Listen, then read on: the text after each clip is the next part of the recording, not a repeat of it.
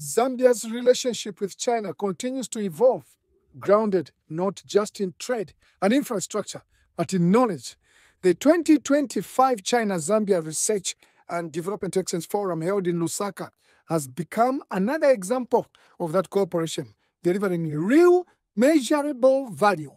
The event themed Global Perspectives Local Impact, enhancing research and development through student exchanges, brought together students and faculty from the University of Zambia, Copperbelt University, and Mulungushi University, alongside counterparts from Tsinghua University in China. 是李阳，我是这一次，呃，中国来前往赞比亚这个实验支队的队长。呃，我们非常荣幸能够来到赞比亚这样一个美丽的国家，呃，来到铜矿之国。呃，也是这次非常期待能够在能源领域和赞比亚的学生们和老师们都展开一次更加深刻的合作啊、这样能够呃同时加深中国与呃赞比亚的友谊啊、加深我们在能源。 The forum was coordinated by Lichi Community Solutions Limited, working closely with the Ministry of Education, Science and Technology and Commerce. At a time when Zambia continues to face serious power shortages, this kind of collaboration is not just timely, it is necessary. Millions of Zambians still live without reliable electricity. This affects not only homes, but also schools, clinics, farms, and small businesses. That's why government is responding practically.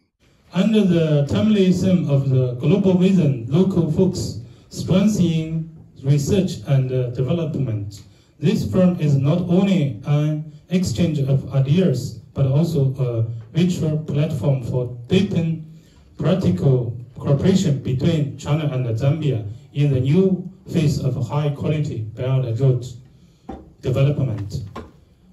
While we continue expanding solar power access and investing in the energy sector, we believe academic institutions must also play an active role in the country's recovery and development.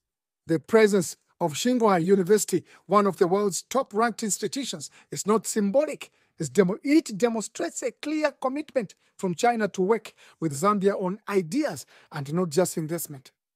Through this exchange, Zambians and Chinese students are now working together to study rural energy challenges, document local conditions, and design scalable solutions that respond to real needs. In his address, Minister of Education, Honorable Douglas Siakalima, pointed out to this exchange as an example of how student research can fit directly into national development. students present, this is your moment. You are the architects of tomorrow's solutions. Use this opportunity not only to learn from each other, but to envision the Zambia and the world and utilize, utilize opportunities in Zambia to bring out practical solutions that would be expanded to other developing countries. He encouraged students to treat their work not as an assignment, but as a responsibility to the communities they serve.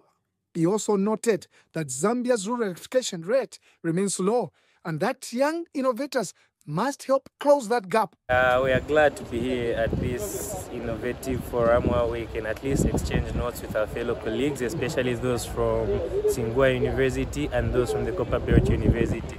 Personally, as the chairperson for the University of Zambia Engineering Society, I'm delighted that we are here and we are learning more about renewable energy. President Hakainde Hichilema has working trips to China laid the foundation of the forum, like this one. Those engagements were built on a shared understanding that Zambia must invest in research, adopt technology, and support local innovation. What we are seeing now is that those visits are producing results. Lichi Community Solutions Limited has played an important role in making this platform a success. Their efforts show what is possible when a local initiative meets international collaboration. This is about building institutional links, encouraging student led innovation, and solving challenges from the ground up.